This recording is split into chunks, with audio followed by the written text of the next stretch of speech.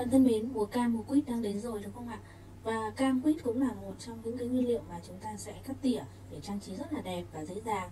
À, và trong cái lớp học tỉa hoa nghệ thuật hoàn toàn miễn phí của mẹ Bảo Hân thì ngoài những cái mẫu mà đi theo các kỹ thuật thì mình sẽ có những các cái mẫu rất là dễ, rất là đơn giản dành cho tất cả các chị em mà gần như là chúng ta không cần phải có hoa tay thì chúng ta cũng dễ dàng có thể tỉa ra để trang trí khi mỗi khi mà chúng ta trang trí một cái à, tiệc cỗ gì đơn giản trong gia đình mình nhé cái lớp học miễn phí thì có hai danh sách và chúng ta sẽ được nhận hai cái danh sách này khi mà các bạn à, để lại các cái comment ở bên dưới nếu như các bạn mong muốn học. À, và hai danh sách này thì có nhiều mẫu hoa. Nếu như mà bạn à, muốn học thì có những cái mẫu hoa mà chưa cần đến dụng cụ cắt tỉa mà chỉ sử dụng đến dao kéo thông thường thì mình có dạy hết ở trong đó. Và để tham khảo trong quá trình sử dụng à, mà mình chưa mua dụng cụ về hoặc là bạn không mua dụng cụ cũng không sao cả còn uh, nếu mà bạn cần thì bạn sẽ mua thêm những cái dụng cụ cắt tỉa ở bên nhà mình thì nó sẽ có theo bộ từ bộ cơ bản cho đến bộ nâng cao và bộ cao cấp. Thì cái này tùy thuộc vào à, cái nhu cầu của mình để các bạn sẽ mua theo nhu cầu của mình nhé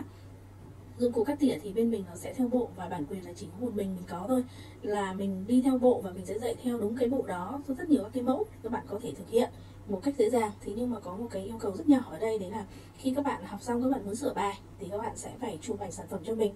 và yêu cầu là chụp thì các bạn phải chụp trên một cái nền rõ ràng và để thẳng sản phẩm. Một ảnh thẳng một ảnh sát cánh hoa một thành cái ảnh nghiêng trái một ảnh nghiêng phải và một ảnh để lật ngược cái đế hoa lên để cho mình có thể sửa được cho các bạn. Và dù là xấu hay đẹp thì các bạn cần phải uh, chụp một cách uh, đúng nhất về sản phẩm thì mình mới có thể sửa cho các bạn được. Sửa thì các bạn sẽ sửa qua cái zalo số 0977 659 472 gửi qua đó thì mình sẽ sửa cho các bạn một cách chi tiết nhất để các bạn có thể là uh, tự mình có thể sửa được cho cái lỗi của mình. À, hiện tại thì à, cái số lượng mọi người sửa bài rất là lớn thế cho nên là mình sẽ chỉ có thể nhận những cái à, bạn mà đã có sản phẩm rồi gửi cho mình chứ còn nếu như mà mình cứ kết bạn zalo xong là mình chào hỏi rồi thì là hỏi những nội dung nó không liên quan ấy thì nhiều khi là mình sẽ không thể nào mà mình kết nối được với bạn. Mình không có thời gian để mình có thể là uh, chém gió buôn chuyện với các bạn được nhé bạn nhé cùng với đó là vì là cái danh sách của mình nó rất là đầy rồi, cái các bạn nó rất là đầy, cho nên mình sẽ không thể đồng ý với bạn được với các bạn nữa. Vậy cho nên khi các bạn gửi thì các bạn cứ gửi sản phẩm và